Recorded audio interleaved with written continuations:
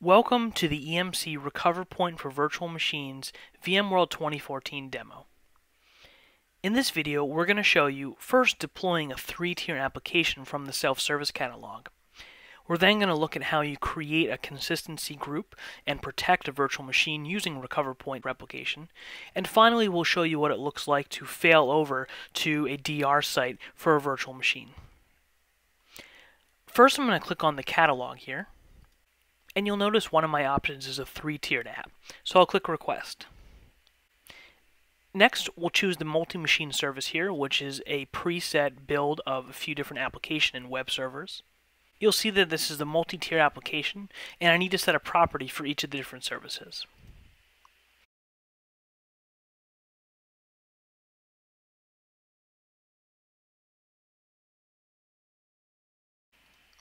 Click Submit and now our request has been submitted. Once I'm in the Items tab, now I can see the virtual machines or apps that I've deployed, so now we'll go ahead and protect that application or those virtual machines that we just created. So we're here in the web client, and the first thing I'll do is choose my SQL Server VM and choose Protect. Next, we'll create a new consistency group. We'll call it Sales Portal App Consistency Group, and we'll choose the cluster that we're working with. Next, we'll configure a new target. So we're going to do asynchronous replication with an RPO of one second.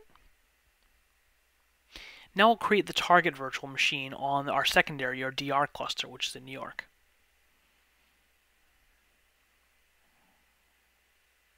Next, we'll select a data store to put that virtual machine on.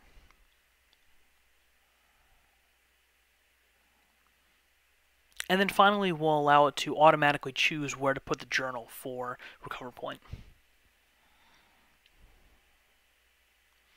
That's it. We'll click Next, and then Finish once all that looks good.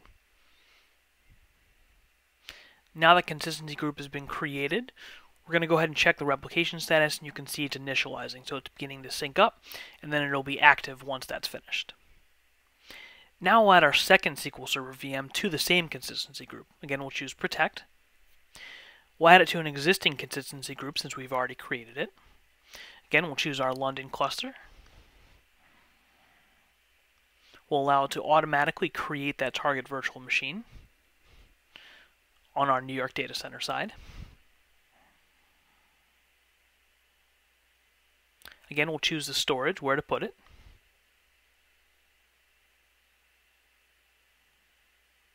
And then we'll choose finish once that looks good. Now you can see the status. We have our two virtual machines that are replicating over. Next, we're going to create a second consistency group for our web servers.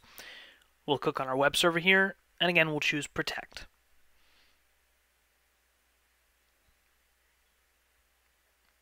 We'll create a new consistency group.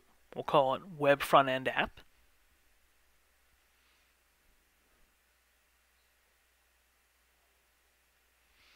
And then we'll choose the London cluster. We'll allow it to create the target automatically and choose one second for asynchronous replication.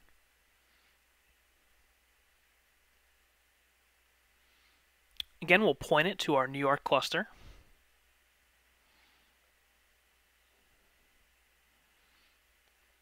We'll select the data store to put that virtual machine on.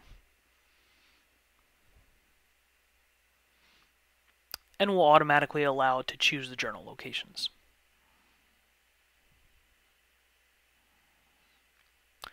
That's it. We'll click Next and Finish. Now we'll go over and look at the Recover Point Management area. So you can see some reporting here. And then we'll go over to our group sets and we'll group those two consistency groups together so we can perform failovers on them. And they also allow for parallel bookmarking between different consistency groups to keep those in sync. Again, you can see our two consistency groups that we're pulling. And we'll add both of them to the group set here.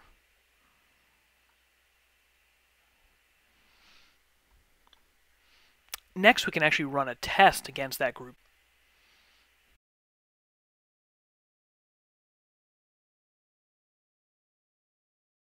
We'll click on the Test Copy button.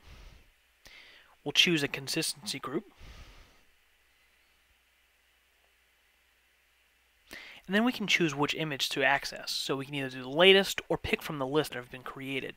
So you'll see here the list of images, and we'll pick one to do the test failover for.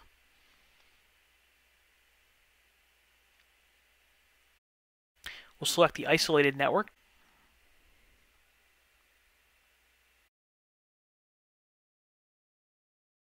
and we'll enable access to that image.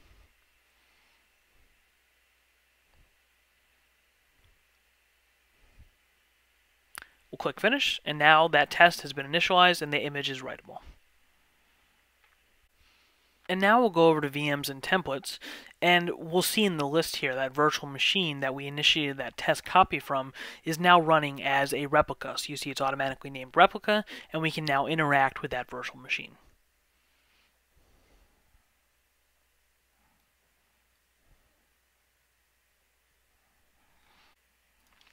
And the last thing we'll show here is how to initiate a failover of a virtual machine or an entire consistency group set. So we'll click on failover. Now we'll choose our consistency group or group set, so group set in our case. And we'll choose which cluster to fail it over to, so the New York cluster. We can select which image, the latest, or again, pick from that list.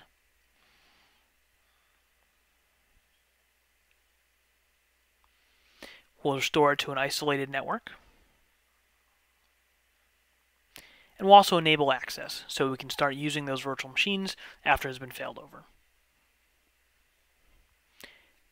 I'll show you the two consistency groups going to fail over, and we'll click Finish. And that's a failover using a recover point for VM.